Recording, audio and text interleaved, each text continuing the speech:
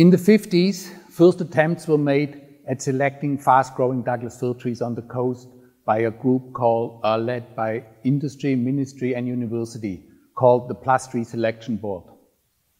This group would organize uh, one week a year called Plus Tree Selection Week and uh, select phenotypically fine-looking specimen uh, of Douglas fir. As a result, a large-scale controlled crossing and testing project was carried out over the next 20 years. Tree improvement programs also got initiated for lodgepole pine and spruce in the interior in the 60s and in the 70s. Our tree improvement programs are so successful because of the large number of trees we plant in BC every year. If you plant so many trees, you might as well plant the, the best ones. Uh, over the years, the number of trees planted increased steadily, and now it's over 250 million trees a year. That is a billion trees every four years. This represents a major commitment from the procurement of genetically improved seed from seed orchards to the growing of seedlings and stock in nurseries, to the planting of reforestation sites in, in, in the field. With the recent fires we had, I believe planting uh, is up now to over 300 million trees per year. Due to their life history traits and longevity, our conifers have extremely high levels of within-species diversity. Wind pollination, often with pollen from far away from locally adapted uh, population will drive, and fecundity, high levels of fecundity, will drive this genetic differentiation. Selection for fitness traits such as height and volume growth will act on this genetic diversity, making large-scale uh, gains possible early in a tree improvement program. The performance of a parent tree is judged by the performance of its offspring in tests called progeny tests. A parent tree, that is a tree from which we collect cones and seeds from for testing, will become a candidate for selection if its offspring performs above average across many uh, test sites. In early tree improvement programs, height and volume growth and wood quality traits were primary candidates for selection.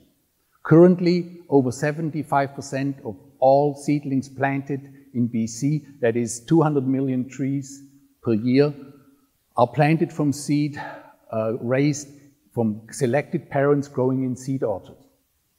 Currently, our genetic gain of these planted trees is roughly 20% for volume at rotation, age of 60, or in the case of interior spruce, uh, of 80 years.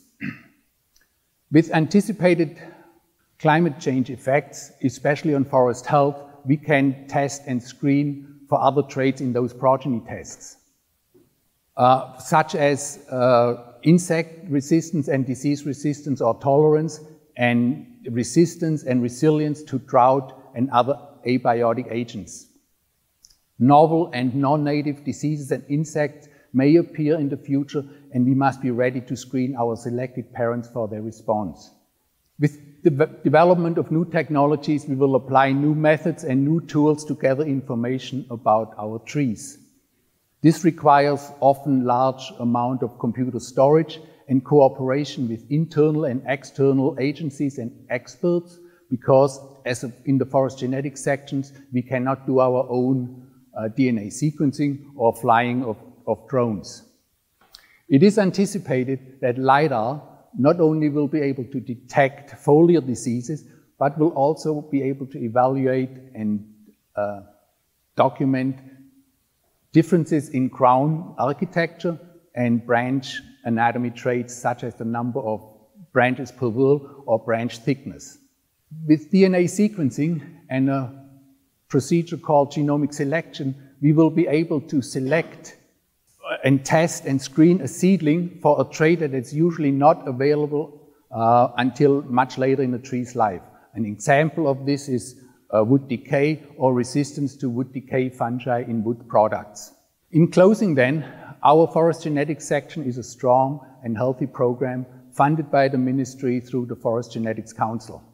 We are ready for the future by relying on proven methodologies and techniques but we also started to incorporate new and novel approaches uh, that will make our work much more efficient in dealing with anticipated and unanticipated climate change effects. Thank you.